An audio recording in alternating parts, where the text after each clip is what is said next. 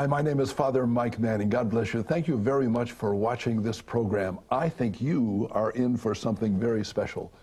You're going to experience some challenges in your life that maybe you hadn't anticipated. I'm going to be speaking with a very special lady, a friend of mine, Sister Gretchen. God bless you. Thank you very hmm. much for thanks, coming and being Thanks with for us. inviting me. Sister, you've, you've had an experience that is very rich and real throughout your life of trying to bring people to the experience of Christ and trying to make church sure the church that we love very much as a Catholic Church is a real representation of that Christian experience, of that Jesus experience. Are you with me on that? Oh, absolutely. Yeah, absolutely. Tell me a little bit about your experience of Jesus through your life. Have, have you uh, always been a, been a Catholic? Always been a Catholic. Had you ever... I was dunked early on. have you ever gone through some times, though, in your, your reaching out to Christ where you found that perhaps ooh, things were difficult and maybe there might have been alternatives that you were thinking of? Well, I think um, the first, uh, first of all, I was very, very, very blessed with um, wonderful parents okay. and a wonderful family. Where were you raised? Um, I was born in Boston, mm -hmm. and then we moved out here when I was about um, five years old. Okay. So I really grew up in Southern California. So I, you know, particularly call this my home, sure. really. Yeah. So, um, but um, my father was, uh, even at, at, Vatican II, I remember my father reading all the documents of Vatican II. Hello?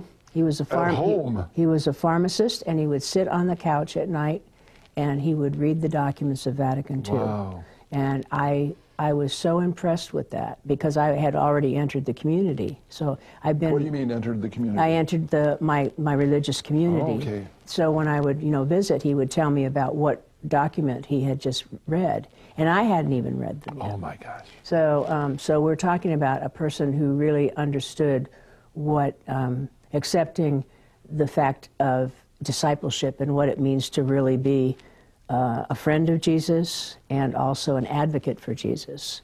And, uh, and I, that's one, one of the reasons why uh, I love that uh, encyclical or the apostolic exhortation of, uh, of Pope Francis on the joy of the gospel. Yeah. Yeah. And I think when you, when you mentioned the fact that um, people are leaving the Roman Church, I think part of it is because they never experienced the joy of the gospel. Ah. They might have experienced the rules of the church, but something was lacking in in their uh, formation as a believer, as a Christian. And it's so easy to get caught up in the rules, isn't mm -hmm, it? Mm -hmm. And rules can become almost a security. They, if, if I'm following the rules and I'm almost scrupulous about them, Absolutely. that's going to get me to heaven. Absolutely. And yet, that isn't necessarily the rule of Jesus. The Absolutely. rule of Jesus is not the law, but much more who are the people that's that are right. affected by the law. Are exactly, exactly. Yeah, yeah. And the other piece of it too is I think um,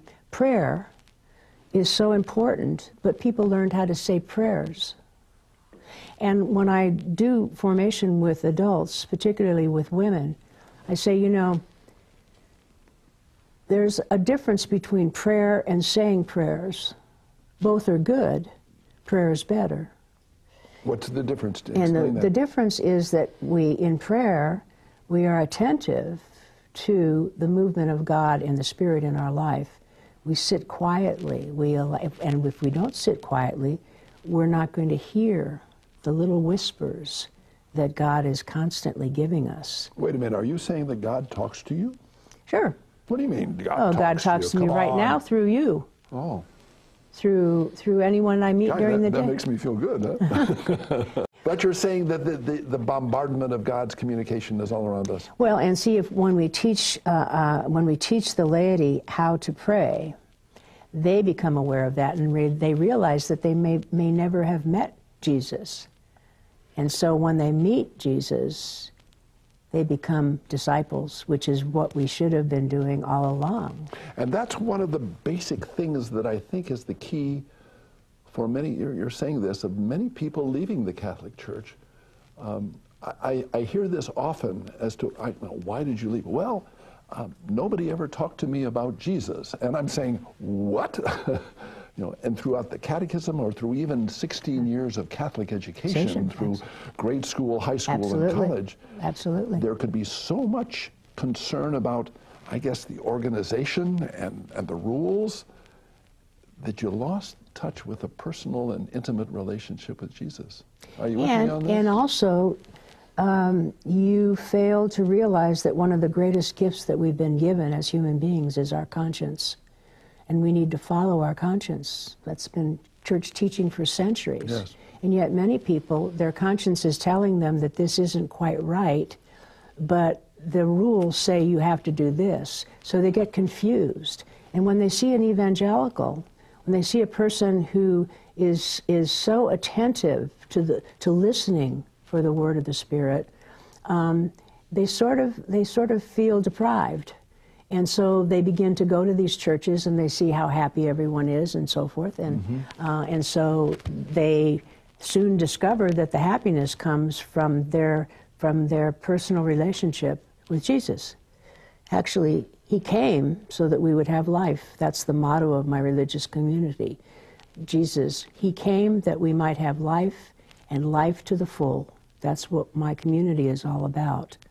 And so um, I think that that to me is is um, uh, was an education that I received uh, in in doing ecumenical work. Just right now, I, am involved. What is ecumenical work? What ecumenical work is is to to notice that the Christian community is so splintered that no longer can we say that you know. Um, when we think about Jesus just before he before he died, he said that all may be one. Mm-hmm. And so ecumenism is the attempt to once again put Jesus at the center and to see that denominations became denominations for all kinds of reasons, but that one thing we have in common, and that is our baptism. We've literally been dunked in God. That's what we are. And a dear friend of mine, Barbara Bowe, who taught at uh, Chicago Theological, she used to say that um, Christians are the walking wet. the walking, the walking wet. wet. You That's just great. can't get the, rid of it. Get rid of that baptismal power. Yeah. So you know, it's really important that we that we somehow, uh, you know, realize that that's so important. I just um, finished um, a book um, on the ministry of hospitality, and uh, it's been translated now into Spanish. So we're going to be uh, the uh, Office of Worship. We're going to be doing that for different parishes to show them that hospitality uh, you know, the, the word hospitality comes from the word guest, welcome guest.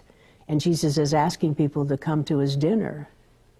And so we have to facilitate that. Yeah. We have to, yeah. you know, and like a smile is not a bad thing to have when you're at the door of the and church. The, the bottom line, I, the, the first question was um, why everything seems to be falling apart with regard to especially, um, well, it's not only Hispanics, but European American people, uh, there's a move away from this. And, and I think you've highlighted some of the problems. And now a little bit of what's the solution being. You, you touched one of the key, key things in my mind is a sense, of, a sense of hospitality. That if I walk into a Catholic church and all of a sudden I'm a stranger, or if I'm not noticed, or if I'm not appreciated, I'm not going to come back next Sunday. Absolutely not. I'm not going to do that. Mm-hmm. But if there is a driving awareness that every person that walks in this church is a person who needs to be felt that they're part of a family, not just the family of God, but the family of this mm-hmm. parish, mm-hmm. mm-hmm. and that we nurture, nurture that. Oh, man, I think that this could change that, that basic hospitality that you were talking about. I, when I was pastor, I, uh, was reading all kind of things about you know what what makes a good pastor you know how can you be a good pastor? Yeah. and and there was something that I, I thought I never did it but I wanted to put on on the front of the church door three words. One was uh, welcome. The other was listen. And the third was empower. And just to say that wouldn't that be marvelous if in the Catholic Church, as a solution to trying to overcome this flood of people that are moving to the evangelical mm-hmm, and mm-hmm. to the non denominational churches, you are welcome in this church. Mm-hmm. And I'm going to listen to you. I'm going to care what you have to say. And then, third, yeah. I'm going to take the risk of letting you then pick up that dream and that, that yeah. call of the Spirit and let it happen in your church. How do you? It's true. Yeah, I, um, you know, if, if we look at Jesus in the Gospels, uh, there's the blueprint right there. You follow Jesus on an ordinary day. if you read Mark's gospel, you'll be out of breath um, because, as you know, in Mark's gospel, he the two big words he uses is and and and and then and then and and and and. So, I mean, by the time you get to the end of a chapter in Mark, you, you need a nap. I like you that. know? Yes. So, so um, if we watch him for a day, if we watch Jesus for a day, and watch who he hangs out with, and also watch how he hangs out, then you get the clues right there. You get the clues for discipleship. Who did he hang out with? The marginalized. Yeah. He hung out with people that nobody would hang out with. He hung out with women. He hung out with lepers. He hung out with children. He hung out with all kinds of folks, people who didn't fit into the rules of Judaism at that time. Samaritans and Gentiles. Absolutely, absolutely. And so um, that's who we need to pay attention to now. I live, I live in an apartment complex that's called um, a um, senior arts colony. There are several of them around in the city, but uh, the street that it's on, there are a lot of homeless people. And the reason why there are homeless people there is because they've come because it's Hollywood. Mm-hmm. And they're mostly young, and they're mostly people who have come to be discovered so that they can become movie stars or musicians, and they would become very wealthy. And now they have no place to live. They're on the street. You literally have to walk past them to get to the market. And, and, and so you say there's Jesus there. Yeah. Nobody pays attention to them.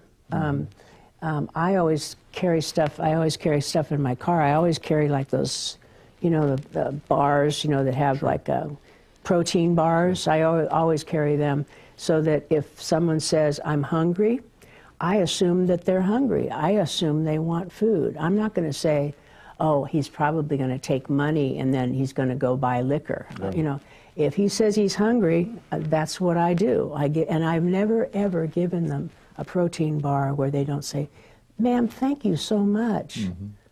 Uh, they're people, yeah. you know, and, and Jesus is there. Amen. We know that because we've already seen him in his everyday life. We've seen how he acts. Yeah. We see who he talks to. We and see. as Francis says, they might smell bad. Exactly. But maybe we should smell bad with them because we associate with them. That's right. We're going to come right back. Stay tuned. We got a message for you. We're going to come back and you know what I want to talk about? I want to talk a little bit about how can we start to influence young people with regard to the flood of things that are happening on the media. Absolutely. But, um, Sister Gretchen, we've had the chance maybe to look at a, a, serious problem in the Catholic Church today, not only in the United States, but in, in um, Europe Australia, in many places where this is going on. And the call is to make sure that we don't allow ourselves to become so legalistic or so ritualistic that we lose touch with the real power of Jesus.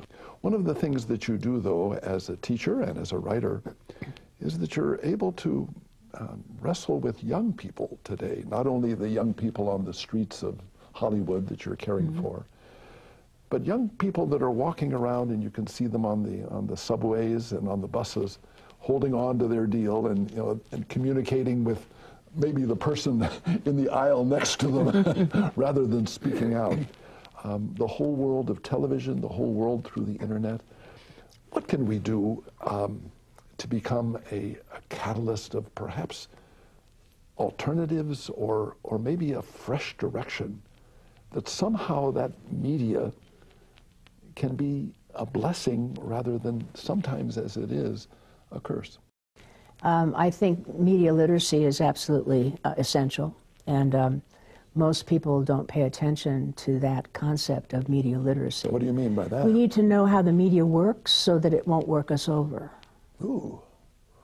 Oh. Very important because if you look at the people now, they, they they're not minding the media the media is minding them and they're not conscious of it. If you can't talk to another person across the table in a restaurant, uh, why did you go to the restaurant? Why not order take in and both sit, sit beside one another and do your little thing, okay? Um, why waste the time and the, and the space when other people are waiting for a table where all you're doing is just sitting there and not even speaking for a, you know, a time? So I think minding the media is very important. One of the things I used to do uh, when I was working more clearly in media was I would give workshops uh, to parents, and it would be called How to Help Your Kids Mind the Media. Uh, and, um, and the point was that um, that you need to help them understand how each medium works. Um, so, For example, give me- so, give me an so, uh, how, do, how does advertising work? How does Hmm. uh, how, do, how does um, music work? Um, do you do do, uh, do you pay to get your, your song on uh, on the te- on the top ten list? You know, how, how do you get there? How do you get there? How, do, how is the industry working? How does movie industry working? Look at look at the whole thing recently about how hacking into a particular studio. Um, you know, um, Sony, the Sony the experience. Sony yes. experience, you Yeah, know, yeah. and and um, uh, it's about money. We need to know that the children need to know it's about money, and um, uh, it's very fascinating to me. Um, one of my um, uh, one of my nephews, one of my nieces actually, and her her uh, boy, he's now going into college, but when he was little, uh, he for Christmas he would have to choose one of the toys he got for Christmas one of the ones he liked, not the ones he didn't like, but the ones he liked, and give it to a poor child Whoa. from the time he was little. And so then from the time he was in eighth grade, he began to work in a soup kitchen. So you have to you have to show them alternatives to sitting in front of the television set. You have to show them alternatives to buying. We just came through a the the season of greed. I always say it's not really Advent; it's the season of greed, uh, and. Um, and so it's important that we that we do media literacy from a very early age. Sister uh, Rose Pacatte and I co-authored uh, several books on media literacy. The first one was called Media Mindfulness, and um, it was for youth ministers uh, to teach high school kids. It was actually for youth ministers and for Catholic high school teachers. And then the, they asked us if we would do one for K through 8. And we did one on K through 8, and each grade studied a particular aspect of media. So the kindergarten kids uh, actually um, they learned about music, so that you get them ready to understand how music plays a part in an ad. If it's happy music, you're not you're going to buy it, you know. so so a kindergarten kid is perfectly capable of finding that, and they had patron saints. So the patron saint for kindergarten was Saint Cecilia, who's the patron of music. So they realized that the church is not against media. The church has always said media is good. Every, every one of God's gifts is good. So it's important that we teach that so that we're not anti-media, as many, many groups are very anti-media, and they, some of them are actually Catholic. And part of it is because they're not media literate. Uh, and I think the media is an important part of evangelization, just as you do. That's what sort of what you do as part of your ministry.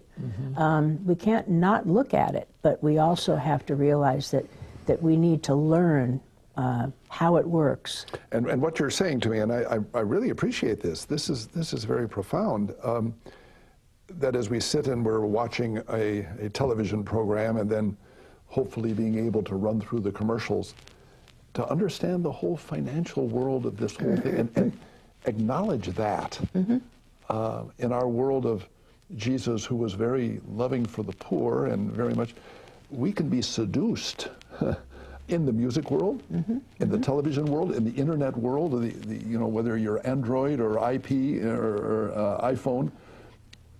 Money is billions and billions of dollars, and we're partaking of that. And we're looking for the anything. next thing. We're And looking for next the thing, lesson. And, and we're hungry I can for that. hardly wait to get the iWatch. Yeah, yeah, It'll yeah, be coming out soon. Now, what's going to happen? How much does an iPad cost? iPod cost? You know, uh, the iPhone. We're talking hundreds of dollars, Oh, yes, and yet yes, you yes. see kids in the inner city with them. You know, Yes, yes, yes. Um, somehow our values can get skewed if we're not pointed in the run direction. I remember in the gospel, if you remember, Jesus said, um, the, these people, they look and look, but they don't see. Yes. They listen and listen, but they don't understand. Oh, and that's what you're talking about, isn't There it? you have Yes, it, right it there. Um, I think it's. I, I- say that too often. I think it's important, but I think it is. I think youth groups um, they're perfect for that. I, I went to the confirmation of one of my grandnieces, and the kids were, were playing with their iPhones during their confirmation ceremony. Yeah, of course. I'm going, hello? Yeah, yeah. Missing the boat. This, this, this is the tool and the bigger picture. They're not seeing the bigger picture. That, that's maybe the, the thing that you're really saying. And, and I'm thinking of that with regard even to the world of sports. Uh, I love I love football. I, I love basketball. I love baseball, uh, and I, I love it. And yet sometimes, I think that we overlook the salaries and we overlook the financial real. I, I have a I have a relative that says, "Gosh, if those guys love to play play baseball so much, why don't they do it for free?" You know, and that's totally totally out of the ballpark. And yet that's going to Ireland. the national sport is a football sport Yeah. where in which the people of the town get together and they play and they have big national thing. They don't get paid. That's right, They that's love right. the sport. That's right, that's Wouldn't right. that be? Ooh, what, what Well, look at look at even world. look at even collegiate sports. You know, Yeah. um, I just read somewhere where uh, now they're they're pushing for um for coaches to get more money if they were they are able to convince the kids to actually go to class. wow, which is Now- the basic thing of the whole deal. Why you And look school? at them now. What do they do? They drop out when they're juniors or seniors. Why? Because get the there's bucks. money. Wouldn't it be wonderful if we were able to just see that money can be a value, but money can be a value insofar as we know how to share it with people? We're going to come right back. Okay. And you know what we're going to do? We're going to pray with some of the things that you're concerned about. You've been writing and you've been calling great. to us. Stay tuned, and we want to pray with some of your concerns. That's thank you. I thank you very much for coming and being with us, and it's always good to be able to mm. share some topics that I mm-hmm. think are important. What's going on with the church? How can we make the Catholic Church more accessible to many people? How can we deal with making sure that young people are not so addicted to the to the uh, mm-hmm. the means of communication that they they fail to see the bigger picture, the bigger picture of finances and advertising Absolutely. and and, right, and, yeah. and being aware of that in order to have a better balance. But one of the joys is we we ask people to call in and uh, well to help support the ministry, Mm-hmm. but also to share their prayer intentions.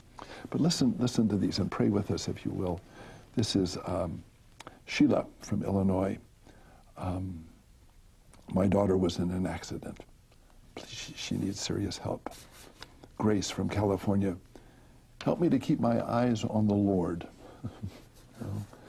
Um, Dorothy from Mississippi. I'm paralyzed from a stroke. Lord, help me to get better. Know.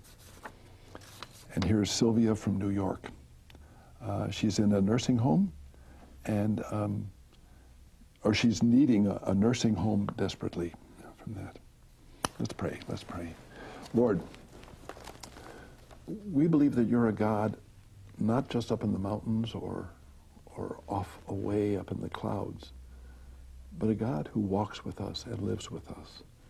And not just lives with us and walks with us, but vitally concerned about helping and bringing healing and even miracles into our life.